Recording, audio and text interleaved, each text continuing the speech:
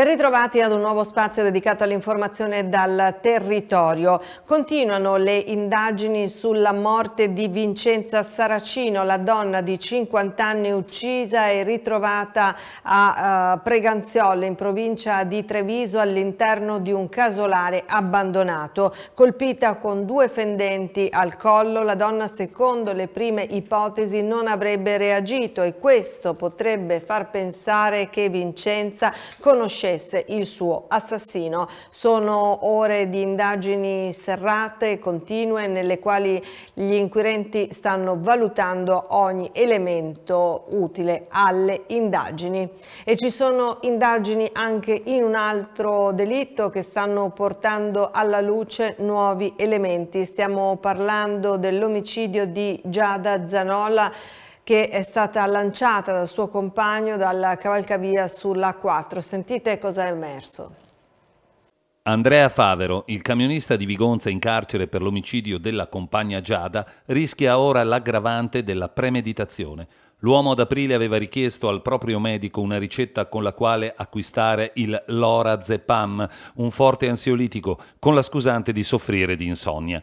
Di questo medicinale gli agenti della mobile hanno trovato cinque boccette tra la casa e la Ford C-Max che condivideva con la compagna, da lui uccisa il 29 maggio lanciandola dal cavalcavia di Via Prati che passa sopra l'A4 a Vigonza.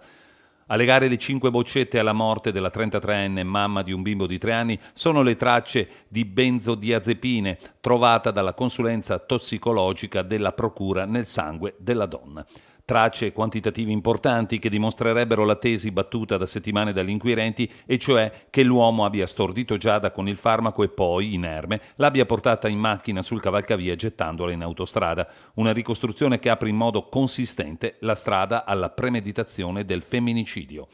Fondamentale a questo punto sarà l'esame tossicologico sul capello di Andrea Favero, prelevato a metà giugno. Verrà analizzato e se non dovessero emergere tracce di lorazepam, sarebbe quasi una conferma del fatto che fin da aprile, cioè più di un mese prima dei fatti, con l'acquisto del farmaco l'unico obiettivo di Favero era quello di somministrare di nascosto il medicinale alla compagna che lo stava lasciando per costruirsi una nuova vita con un'altra persona. Avrebbe chiesto di contattare l'Andrangheta per mettere a tacere Marco Travaglio, Selvaggia Luccarelli e una terza persona. Sono queste le accuse mosse da un detenuto nei confronti di Chico Forti che si trova in carcere a Verona. La Procura ha aperto un'inchiesta e sta indagando per andare a fondo sulla questione. Della vicenda sono stati informati il Dipartimento dell'Amministrazione Penitenziaria, la Prefettura di Verona, il Tribunale Tribunale di Sorveglianza, la DDA di Torino. Una delle ipotesi che si avanza sul possibile accanimento contro Travaglio e Luccarelli è il titolo con il quale il giornale di Travaglio il 19 maggio aveva aperto la notizia sul suo ritorno in Italia, scrivendo in apertura benvenuto assassino. Ovviamente sono in corso indagini per ricostruire e delineare l'intera vicenda. E adesso parliamo parliamo di un'operazione di polizia, un'operazione della Questura di Padova che ha portato all'identificazione e all'arresto di quattro persone, tra queste anche un giovanissimo. Sentite cosa facevano. Rapinavano i conducenti delle loro auto, le vittime insultate, minacciate e scaraventate a terra. Uno degli episodi è avvenuto lo scorso novembre in zona Arcella a Padova, ma non sono mancati altri casi simili in città. Quattro giovani tunisini, tra cui un sedicenne, tutti con precedenti, sono indagati dalla Polizia di Stato e dalle procure di Padova e Venezia. In attesa di essere giudicati sono stati arrestati anche per spaccio e due di loro espulsi e collocati in un centro per rimpatri. Nei confronti di tutti e quattro le procure hanno già avanzato separate richieste di rinvio a giudizio. A compiere una delle rapine nei confronti di una donna poco più che settantenne è stato il sedicenne. In via Guarnieri, a Padova, la donna aveva rallentato per la presenza di un camion e a quel punto il minore si era infilato in auto, trascinando la signora fuori dal mezzo e scaraventandola a terra per fuggire, poi con l'auto. Episodi di violenza inaudita. Fortunatamente le indagini hanno portato a identificare il gruppetto che se non fermato avrebbe continuato a imperversare sul territorio. Gli investigatori della squadra mobile sono riusciti a recuperare tutte le immagini della rapina grazie a una telecamera presente in zona che ha registrato anche l'audio di quei momenti tremendi nei quali si sentono le minacce alla vittima e le sue grida di aiuto. Un gruppo con alle spalle numerosi gravi precedenti per reati di vario tipo, anche per uno di loro un tentato omicidio. I colli euganei diventano riserva della biosfera, un riconoscimento prestigioso che è arrivato questa mattina durante un incontro importantissimo in corso ad Agadir in Marocco. La candidatura coordinata dall'ente Parco Colli Euganei è stata riconosciuta per il suo eccezionale valore naturale e culturale, non che per l'impiego dimostrato nella promozione di pratiche di sviluppo sostenibile che rispettano e valorizzano le risorse ambientali locali. E da un posto meraviglioso del nostro Veneto andiamo in un altro, quello del lago di Garda e, e torniamo a parlare del virus che ha colpito una parte del territorio a Torri del Benacco. Eh, sentiamo che cosa sta succedendo. Dopo l'emergenza del virus a Torri del Benaco arrivano le disdette dei turisti. Confcommercio Verona e Federalberghi Garda Veneto inviano una lettera al sindaco di Torri, Stefano Nicotra. Lo hanno fatto per richiedere un incontro urgente. Le due associazioni infatti nella missiva esprimono preoccupazione per le conseguenze dell'emergenza norovirus che, sebbene terminata, ha lasciato le imprese locali in una situazione critica. La lettera sottolinea come la comunicazione inadeguata durante l'emergenza abbia generato un allarme diffuso amplificato dai media locali, nazionali ed esteri, in particolare in Germania. Questo ha provocato significativi danni economici alle imprese del settore, con numerose disdette e un impatto negativo sull'immagine del territorio. Alla luce di questi problemi, le associazioni propongono di progettare una campagna promozionale su vasta scala per rilanciare l'immagine del territorio. A Belluno la Guardia di Finanza ha sequestrato 12.000 prodotti tra accessori e gadget ritenuti non conformi agli standard di sicurezza previsti dalla normativa vigente. Si tratta di un'attività gestita da un cittadino di nazionalità cinese. Il tutto è stato segnalato alla Camera di Commercio che eh, il titolare adesso rischia una sanzione che va da un minimo di 516 euro a un massimo di 25.833 euro. Abbigliamento di provenienza cinese venduto a prezzi molto bassi nel web stanno creando ingenti danni al mercato della moda e dell'abbigliamento, introducendo capi con qualità molto bassa che potrebbero essere potenzialmente pericolosi anche per la salute di chi li indossa. A vendere sul web questi capi sono in particolare grosse catene che stanno spopolando. Il presidente di Fermoda, Confcommercio Veneto e Federazione Federmoda Ascom Padova, Riccardo Capitanio, ha spiegato che queste aziende non pagano le tasse in quanto il dazio viene pagato oltre i 150 euro e generalmente gli ordini sono più bassi. Capitanio per tutti questi motivi ha sollevato il problema già da un po', spiegando che intende coinvolgere i parlamentari neoeletti affinché passi velocemente l'intenzione volta a limitare l'ingresso nell'Unione di articoli di abbigliamento di qualità inferiore. E adesso invece parliamo dei problemi causati dal maltempo che hanno provocato danni per milioni, milioni di euro. Sentiamo la situazione con i fondi che arriveranno dal governo. Dopo aver decretato lo stato di emergenza in conseguenza degli eccezionali eventi meteorologici che si sono verificati da metà maggio agli inizi di giugno in molte province del Veneto, il governo e il ministro della Protezione Civile hanno deciso di stanziare 26 milioni e 100 mila euro a valere sul Fondo per le emergenze nazionali per far fronte ai rilevanti danni subiti dalla Regione. Il sostegno riconosciuto contribuisce ad avviare le operazioni di recupero e ripristino delle infrastrutture danneggiate, oltre a garantire il sostegno necessario alle famiglie e alle attività economiche duramente colpite dal maltempo. Ora, dopo l'avvenuto riconoscimento dello stato di emergenza, sarà avviata una successiva ricognizione per l'accertamento dei danni ai privati e alle attività produttive. Sabato 6 luglio, in prossimità della stazione di Venezia Santa Lucia, la Questura, in collaborazione con la Polizia Ferroviaria, allestirà a partire dalle 8.30 uno stand presso il quale verranno distribuiti opuscoli informativi in lingua inglese per sensibilizzare i numerosi viaggiatori e turisti che quotidianamente affollano la città sul fenomeno dei borseggi, nonché sulle truffe attraverso il gioco delle cosiddette tre scatolette. L'iniziativa è stata profondamente voluta dal questore di Venezia, Gaetano Bonaccorso, e si inserisce in un progetto finalizzato a incrementare in modo sempre più efficace l'incessante attività di contrasto a questo tipo di reati predatori. E adesso parliamo dell'ABC dello smartphone. Sentiamo che cosa vuol dire. Il Comune di Vicenza promuove ABC dello smartphone, un corso di formazione gratuito che si terrà il 9 luglio dalle 15.30 alle 17.30 al Digital Innovation Hub in via Enrico Fermi presso Confartigianato Imprese Vicenza. Il corso, destinato a cittadini di tutte le età, mira a fornire le competenze di base per l'uso consapevole e sicuro degli smartphone, strumenti oramai fondamentali nella vita quotidiana. L'iniziativa si inserisce nel più ampio progetto Reti di punti di facilitazione digitale del Veneto, finanziato dal PNRR, con l'obiettivo di migliorare le competenze digitali e favorire l'inclusione di almeno 188.000 cittadini veneti entro il 2026. Il corso si rivolge ai cittadini italiani e stranieri over 16 interessati ad approfondire la funzionalità di base dello smartphone per partecipare è possibile prenotare un posto chiamando il numero 0444 16 83 11.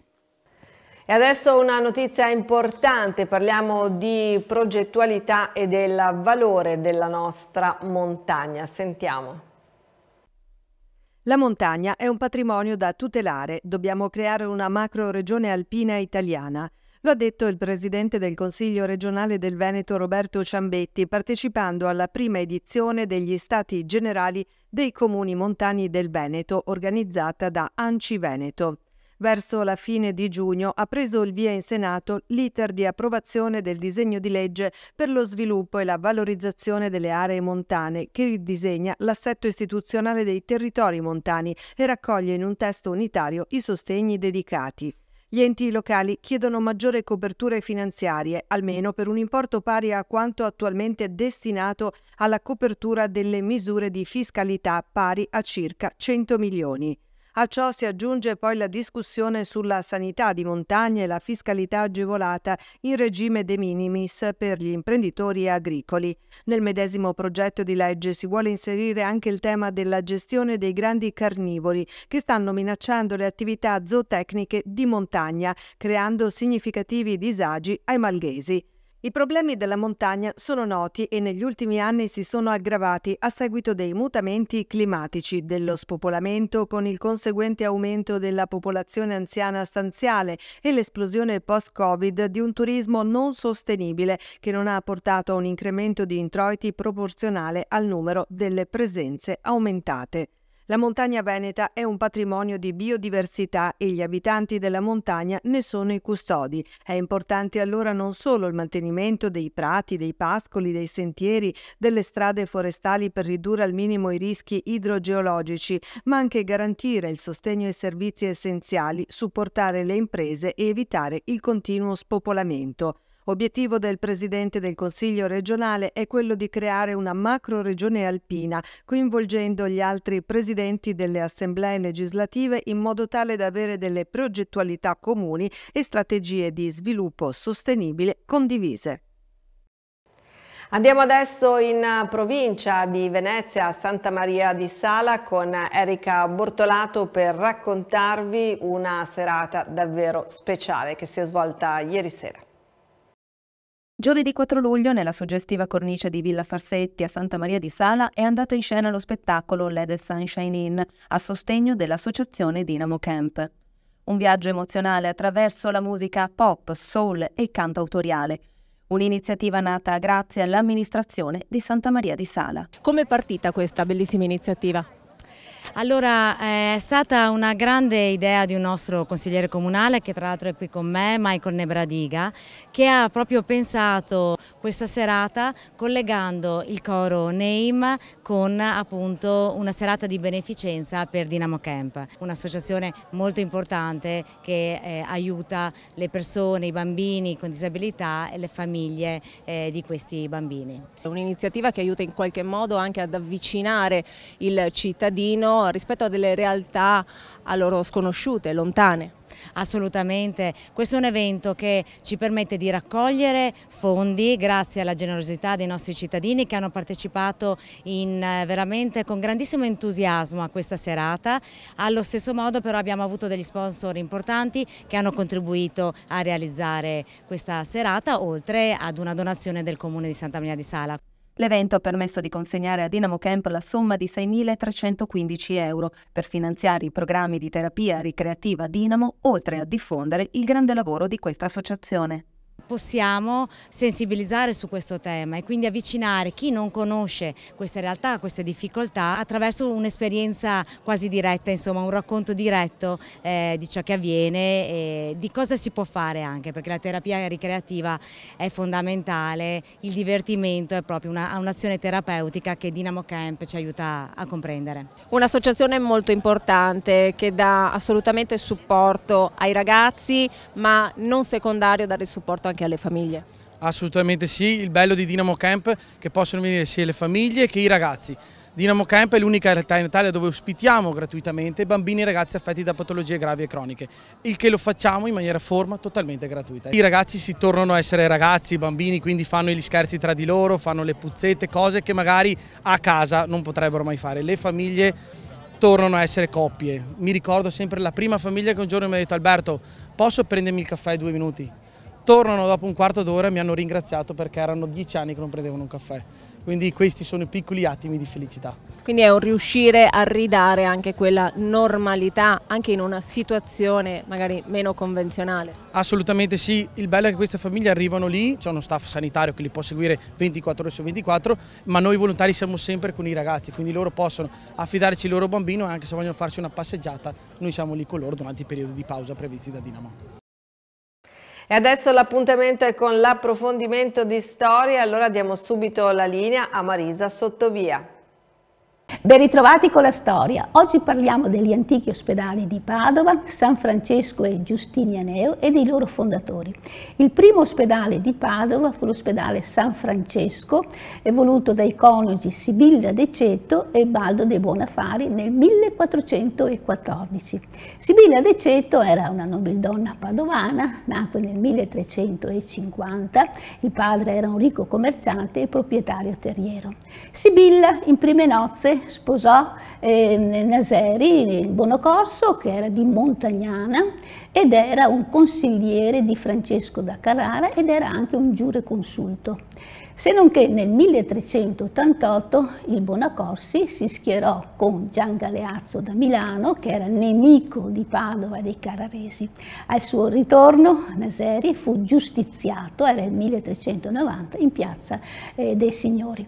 Sibilla rimase vedova e si risposò in seconde nozze con Baldo dei Bonafari di Piombino, che è una località della Toscana, e si trovava a Padova per lo studio del diritto. Inoltre era il consigliere di Francesco Novello dei Cararesi. La coppia eh, abitò nel palazzo di fronte al Duomo e non ebbe figli ed, era un, ed, erano coniugi molto ricchi. A un certo punto decidono di costruire un ospedale, una chiesa e un convento per la salvezza della loro anima e per aiutare i poveri e i bisognosi.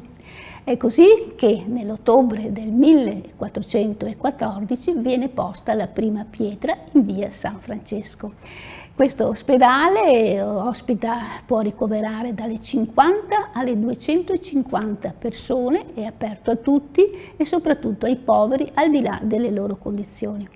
Ma nel tempo ovviamente diventa insufficiente e quindi si passa a un altro ospedale. Però ricordiamo che in questo ospedale inizia la cura diretta del paziente con il medico che si reca al capezzale grazie agli insegnamenti del professore Giambattista De Monte che appunto inizia così la, la medicina clinica.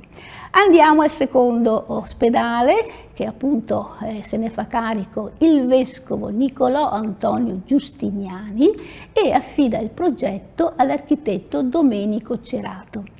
Giustiniani era un discendente della famiglia, di famiglia nobile veneziana, nacque nel 1712 ed era un uomo devoto, instancabile, generoso, che appunto volle realizzare questo ospedale e mise a disposizione i suoi beni, la sua argenteria, chiedeva elemosine a tutti per far fronte alla somma, inoltre inventò anche il gioco del lotto appunto per recupero delle somme. L'ospedale eh, fu posta la prima pietra nel 1778 e ci vollero vent'anni per la sua costruzione, infatti fu inaugurato nel 1798, però il nostro vescovo Giustiniani non fu presente in quanto morì due anni prima. Fu un ospedale, il primo ospedale pubblico nella storia, aperto a tutti, eh, al di là delle condizioni economiche. Questo ospedale poteva contenere 500 eh, ricoverati contemporaneamente.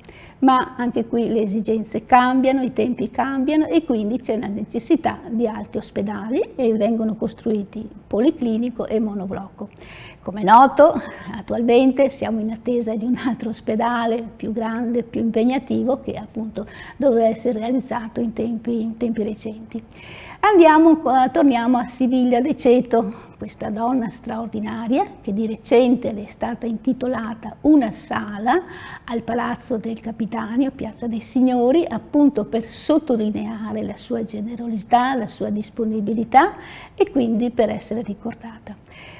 Al, nel luogo dell'ex ospedale San Francesco c'è il MUSME, Museo della Storia della Medicina, che appunto racconta la significativa, importante storia della medicina dal punto di vista scientifico, anche per quello che è stato il contributo dell'Università di Padova nei secoli, un museo multimediale molto interessante e come sempre noi consigliamo una visita. Grazie a Marisa Sottovia per l'appuntamento dedicato alla storia. Vi ricordo che tutti i nostri servizi, comprese anche le pillole di storia, sono disponibili nel nostro canale YouTube Telecittà Official Channel oppure all'interno della nostra app scaricabile in tutti gli smartphone. Uno sguardo alle condizioni meteo, l'alta pressione tenderà a indebolirsi tra sabato e domenica quando il Veneto sarà lambito dalla parte più meridionale di un'area ciclonica ciclonica con nucleo tra Gran Bretagna e Scandinavia, mentre lunedì si rinforzerà. Il graduale aumento delle temperature sarà la caratteristica saliente, valori in prevalenza non distanti dalla media nel fine settimana, poi sopra la media. È tutto per questa edizione, grazie per la vostra attenzione e buon proseguimento.